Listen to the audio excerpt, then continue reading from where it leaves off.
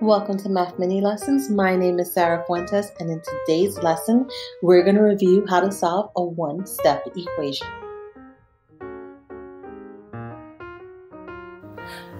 We've been doing order of operation problems since we were in the fourth grade Math Marvels, and the entire goal of doing order of operations is so that when we get a really complex expression, every single person can follow the same series of steps to get the exact same answer.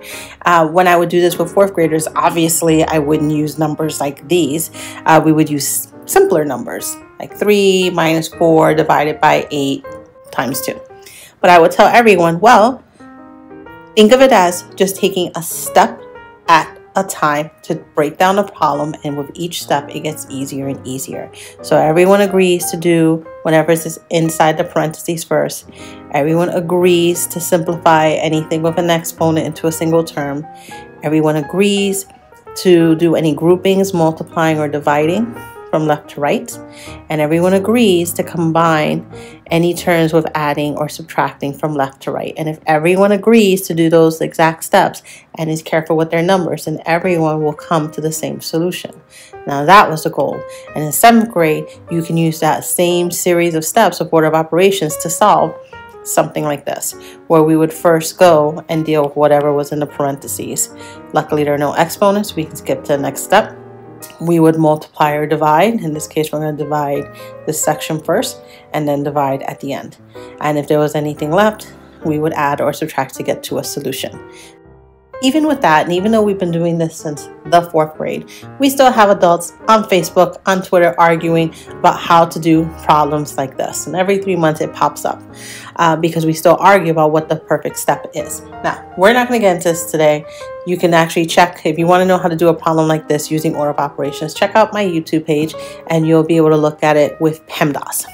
What we're going to do today is we're going to think about how to use order of operations and quite frankly how to use the opposite of order of operations, inverse operations, to retrace our steps and to find the solution for a simple equation. Now, in our last lesson, we talked about expressions. Expressions like this, x plus 8. In this equation, we have two expressions. We have x plus 8 and 12. Both expressions are equal to each other, which is why we have an equation has this little equal sign. It tells me that whatever is on this side of the equal sign, this expression, has the same value as this expression. I can't use order of operations because once I get to this simple term, I cannot combine these terms together. They're not like terms. So we're going to use backwards planning. And instead of adding 8, what we can do is we can do is opposite, subtract 8 to get the x by itself. Okay, so that is our goal for today. We're going to see how to use inverse operations to do two things. We want that x by itself, we want it isolated, and we want to figure out what is the solution to, that would make it true. What number can we put in for x that would make this equation true? So let's look at this first example. Here our math goes. Isolate the variable and simplify. In this case, we have a number minus 9 equals negative 2. And you can probably do this in your minds. I already know it, but for simplicity's sake, we still want to think of it thoughtfully about what our process is and not just getting the answer. How are we getting to that? We want this number by itself. Unfortunately, that number is being reduced by 9. So we're going to do is opposite. Instead of subtracting 9, what we want to do is add 9. And what this will do is it will cancel out these two nine, this negative nine and positive nine. Why? Because they create a zero pair. I'm adding two opposite numbers, I create zero, which leaves me with only the variable g. Now before I told you that this is an equation, meaning both expressions have to be equal to each other. So if I added 9 to one side, I have to do the same to the other side. That way it stays balanced. If I only kept it on one side, this side would have way more. So just think of the rule. Whatever I do to the left, I got to do to the right. So we're going to add 9 to the other side as well. Negative 2 plus 9 is going to give us 7. And now this is a simple solution.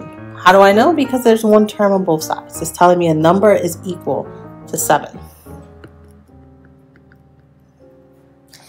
We're going to actually check this and just validate and make sure this is true. So I'm going to take this 7 and I'm going to put it back in for g into our original expression.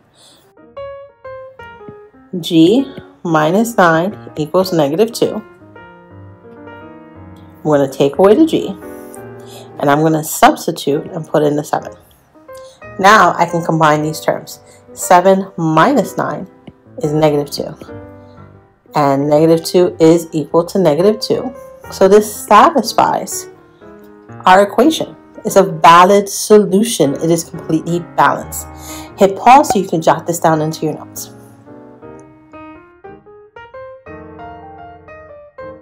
We're going to look at another operation together. Again, we're looking at opposites. So in order to solve and isolate, we're going to use opposite operations. So in this case, we had adding and subtracting.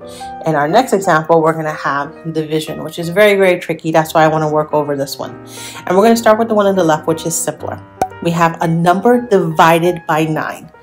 How can I get this by itself?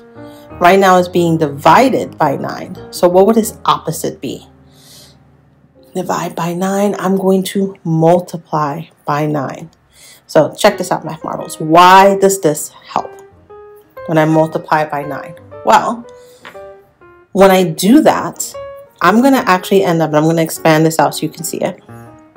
I get 9a divided by 9. We know that 9 divided by 9 just gives us 1.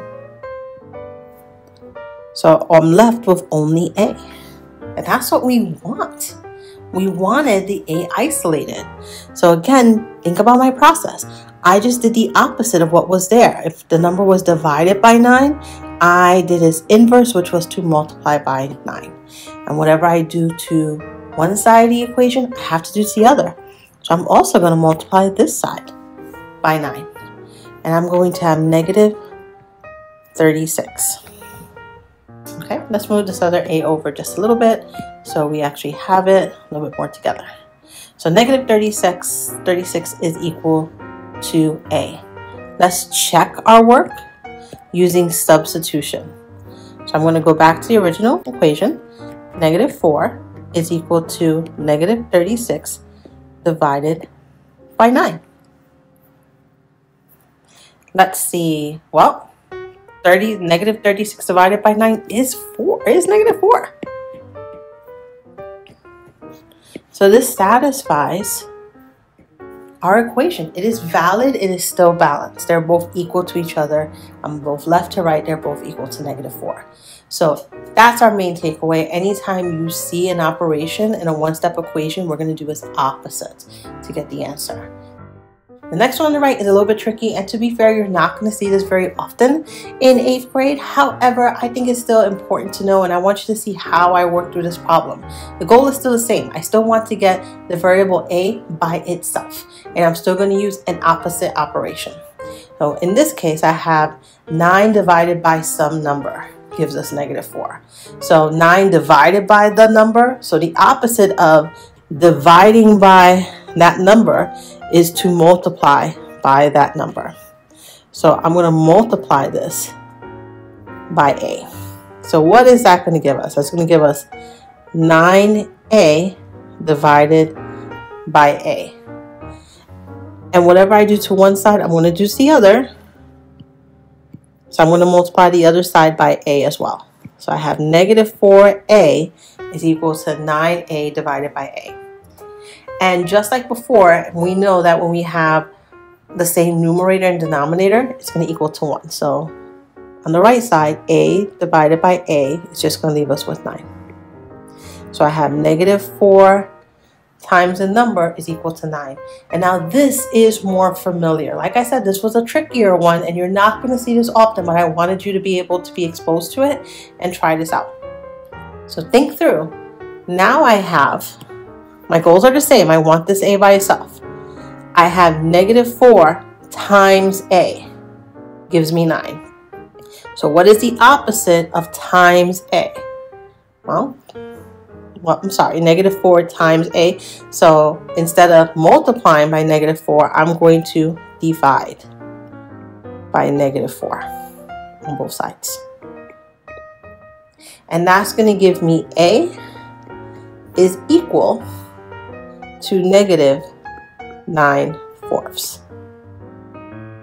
So we're going to hit pause for a second, Math Marbles. What I would love you to do is actually go back in and plug that in for A. Substitute it. Put negative 9 over 4 and see if you get the same answer on both sides of the equation. This one's a little bit trickier, um, but now you have an idea of how to solve at least one-step equations by using the opposite operation and using our math goals. Isolate and get with one term on both ends. Pause here, jot this into your notes, and we will see you in the next lesson, Math Marbles.